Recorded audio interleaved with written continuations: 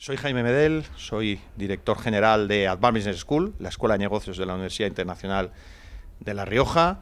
Eh, soy licenciado en Derecho, MBA, eh, máster en Dirección General de Empresas. Eh, he sido presidente de la Asociación Española de Escuelas de Negocios, la que, la que fundé, y soy consejero también de la Escuela de Negocios.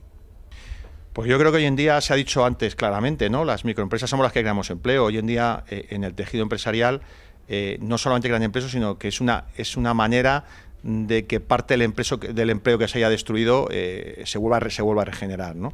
Eh, el tejido empresarial en, España está fundamentalmente creado por microempresas.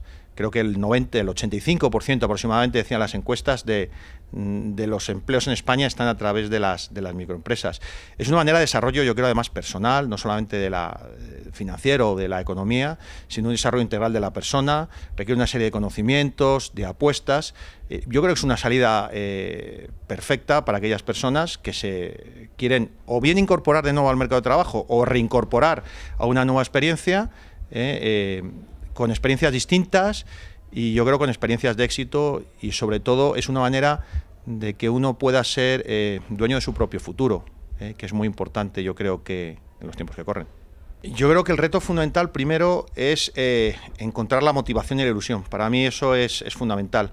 La idea es importante, siempre hemos dicho que es una idea innovadora dentro de un sector que se puede desarrollar, pero el reto fundamental es encontrar la motivación y la ilusión para hacerlo.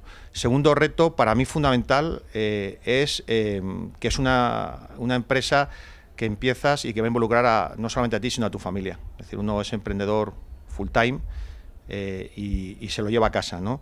aunque parezca que, eso es menos importante, eso es lo más importante, ¿no?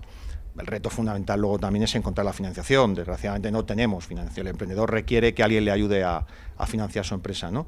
Pero yo creo que por ese orden hay que encontrar la motivación para, para montar la empresa, hay que contar con compromiso familiar porque les vas a involucrar. Yo diría que el siguiente reto, lógicamente, es el de encontrar la financiación que te permita, pues eh, al final, poder abrir la puerta de tu tienda, la valla de tu peluquería o, abrir las, las oficinas. ¿no?